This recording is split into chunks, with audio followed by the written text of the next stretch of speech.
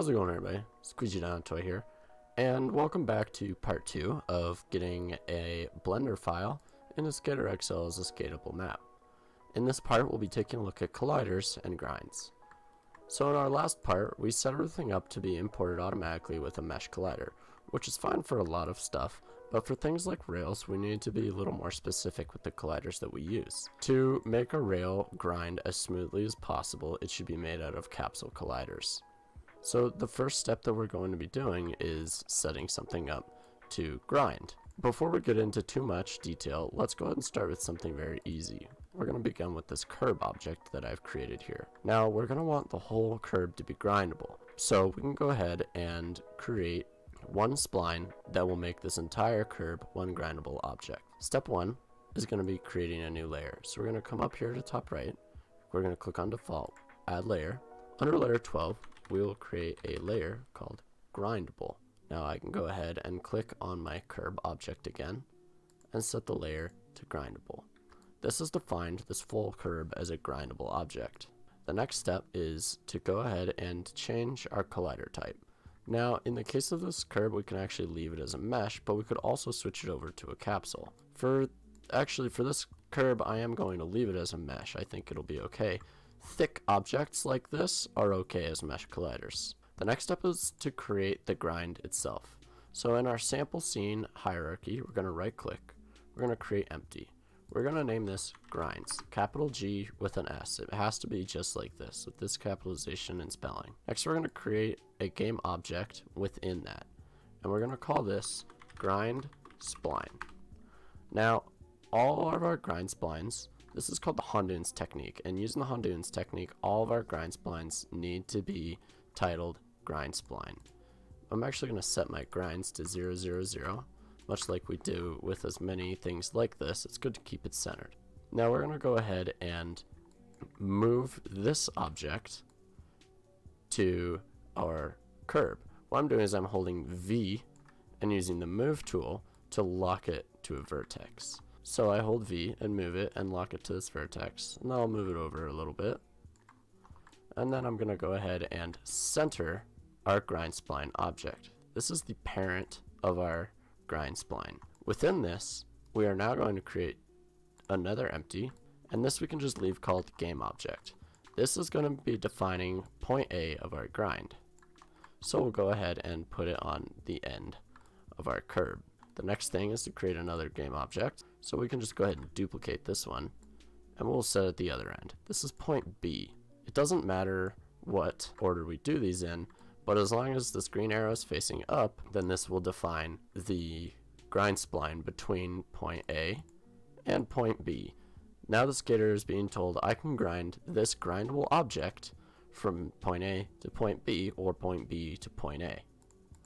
Something else we can do is we can go ahead and title this grind spline and then we can add a tag. So for instance, I can add the concrete tag. Our three options are concrete, metal, and wood. This is what will define the sound that our curb makes. So in this case, I wanted to make a concrete grind sound. Okay, so our curb is all set up to be a grindable object. Now let's go ahead and take a look at what it would entail to make a rail. We'll go ahead and go with this simple flat rail. Now in this case, we do not want to use a mesh collider, so I'm going to remove that component. What we want to do is use capsules for rails because mesh colliders with rails, it's easy for the skater to fall through. If there's legs as well, such as with this battleship, there will also be hitching where the legs are. So we want to avoid all of that by going with a simple capsule rail setup. In this case, because I have these bevels as well, I may want to create a couple extra capsules to help really define the shape of my rail. So I'll go ahead and start setting those up. So the first step is I'm going to right click on my flat rail, create empty, and I want to go ahead and center this right in the middle of our rail. This is going to be my grindable capsule. Capsule colliders are primitive colliders that are in the shape of, you guessed it, a capsule. And we want to try and use these sort of primitive colliders as often as possible. Now I can go ahead and add component and add a capsule collider. I'm going to go ahead and click on this button here to adjust the collider by dragging with these little box icons here. And it's important to go ahead and hold the Alt button when doing this as much as possible so that I scale both sides at the same time. Something that's important to keep in mind is this center number needs to be 000 and the game object itself needs to be right in the middle of our grindable object. If, for instance, I accidentally move the center down, now the center of my capsule is down here, the skater will try and kind of migrate himself down to the capsule, which we don't want. We want both the center of the capsule and the center of the game object itself to be as close to 0, 0, 0 in reference to the flat rail as possible. I can use the perspective mode and the isometric mode to get different things. In this case, I'll switch to isometric mode to help me get a very perfect view of the rail from above to line these up properly. It's okay to have a little bit of extra collider on the bottom since that's something we won't be skating, but it's really important to have the top as flush as possible with the rail itself. As you can see, the capsule collider is flush on the sides, the top, which is going to be our grindable surface, and we do not want the top floating above the visual mesh, because that's what creates floaty grinds, and it comes all the way to the ends. Okay, so the next thing I'm going to do is I'm going to set this to grindable. Only this capsule is going to be set to grindable. And I'm actually just going to go ahead and call this flat rail grind collider. That'll help me keep my hierarchy straight. Something else we can do to help simulate some realism is we can come to our project, and I'm going to go ahead and right click, create, we're going to create a physic material. I'm going to call this grind. We're going to come over here and set our dynamic friction to 4, and our static friction to 0, bounciness to 0, friction combine will be, friction combine should be set to multiply, and our bounce combine should be set to minimum.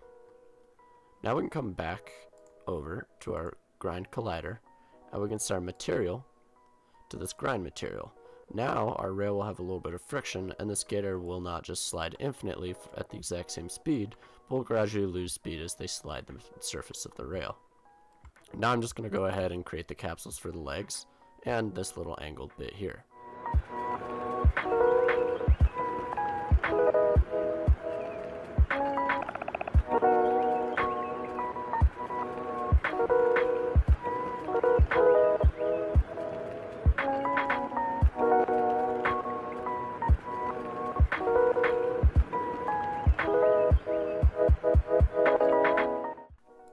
Okay, so I've gone ahead and gotten my flat rail all set up. So as you can see, the rail itself has two capsule colliders, which are the legs. And then I have the collider that is the grind, which is the only collider that will be set to the grindable layer. And the only collider that has this grind material set. And then I have this and this, which are what make up these angled bits, which is simply a game object rotated with a capsule on it. A couple things to keep in mind are to always use primitive colliders as often as possible, which are box and capsule colliders, as well as wheel and sphere colliders, I believe, are also options. Another thing to keep in mind is when using our ground collider, it is imperative to keep our center at 0, 0, 0 and make sure that it is aligned with the middle of the rail. This is a very important step, and if we miss that, our skater will have issues trying to grind this rail. So now that we've got all of that set up, we can go ahead and create a new grind spline. So I'm going to create empty, and once again we're going to be doing grind spline, and I'm going to call this metal, and then we can also give this another tag, and this is just going to be for organization's sake, we'll call this flat rail, and we can go ahead and rename this one, and we'll call that curb. This will just keep things a little straighter when working with our map. Now we're going to go ahead and move this empty over and we're going to align it with the center of our rail and then once again we're going to create another empty and finally our point B empty. And now our rail is ready to grind. Something to keep in mind as well is that it's nice to try and keep our grinds floating a little bit above our rail. In the past I said to set them into the rail, but I have learned that it's actually better to have the grind float just the tiniest bit above your collider. And to help prevent floaty looking grinds, setting our collider up properly with our rail so that it's very flush, or even we could set our collider the tiniest bit down will help prevent a floaty grind appearance. Okay, now we can go ahead and move on to doing the rest of our park. We've gone ahead and covered flat rails and flat objects. A ledge is the same, but with a box collider, or a custom collider, which you can learn about in my custom colliders tutorial. But let's move on to this kinked rail, which is slightly different, although not much more difficult to handle. Now I'll go ahead and set up the colliders really quickly.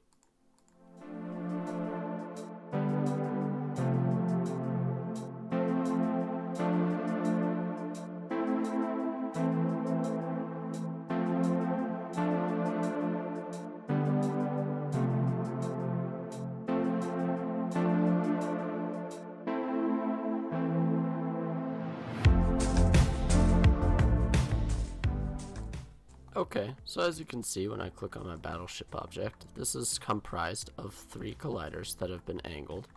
The first is this capsule collider in the middle. And then the second is a capsule collider, the same one actually, I duplicated and then rotated to align with the rail. And then the third is that same as before, and just rotated the opposite direction and aligned with the other side of the rail.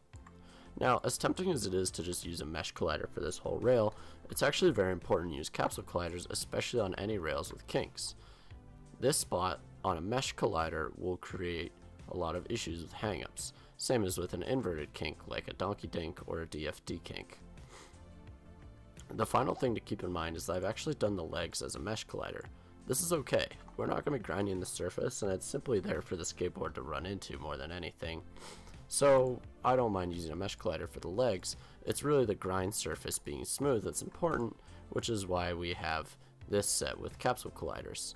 Where this would kink with a mesh collider, it will not kink with a capsule. Now we're going to go ahead and create the spline for this. So just like before, we're going to create an empty and set up our splines. Now, in this case, we are actually going to do one thing slightly differently we're going to go ahead and create an empty, our game object here. And we're going to bring this out.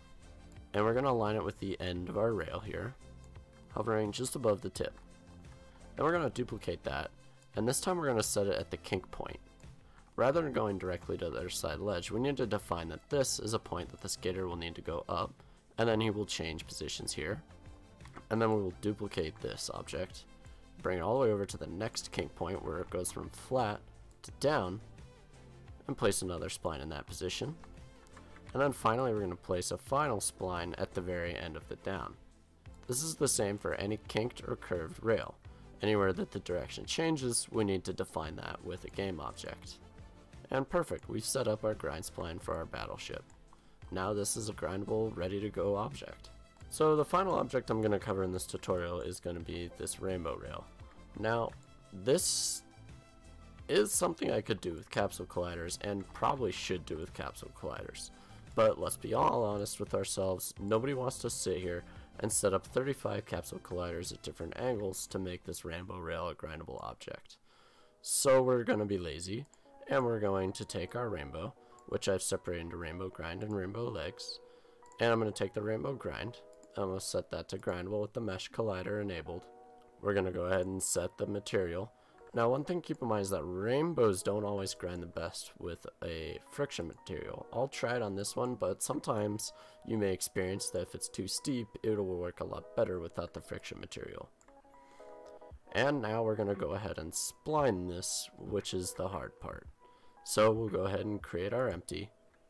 I can go ahead and use the vertex alignment tool by holding V again and clicking to sort of get that a little closer to where I want it without drag and dropping it a thousand times in the map and then get it more dialed and as always we're gonna go ahead and create our empty And now for the fun part, which is going to be creating this spline with each game object at a time.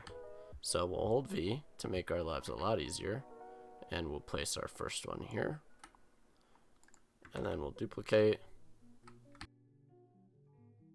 Go ahead and switch views so that just it's a little easier.